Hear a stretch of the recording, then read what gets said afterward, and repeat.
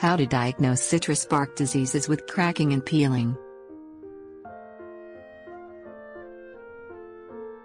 Homegrown citrus trees perfume the yard and enhance the landscape with their colorful fruits.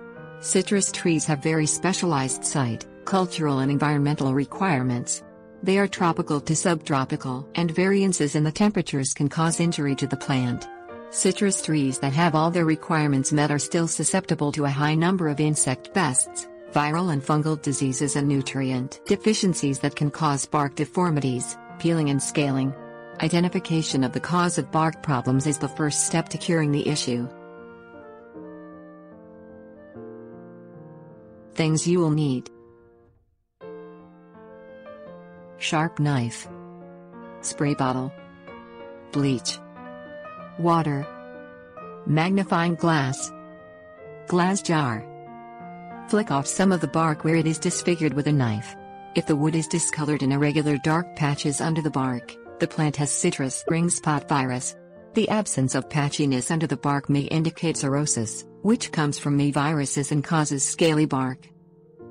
Disinfect a knife with a solution of 10% bleach and 90% water and make a slender slice into the bark. If the wood is soft and stained a dark brown the tree may have foot rot. This is a fungal disease that begins at the bud union and can girdle the tree. Examine the underside of a piece of bark or the cracked margins with a magnifying glass. If you see small black, red, orange or yellow fruiting bodies the plant has any one of a number of fungal diseases. You can narrow it down by looking for the color of the fungus. Check for gummy residue or open oozing areas in the bark or the wood under the bark. This would indicate gummosis or armillaria root rot. Armillaria will have large white cottony masses of mycelium growing under the bark. Take a piece of bark and shaving of wood in a glass jar to a laboratory or county extension center for identification. The sheer number of fungal and viral diseases that could infect a citrus tree are vast.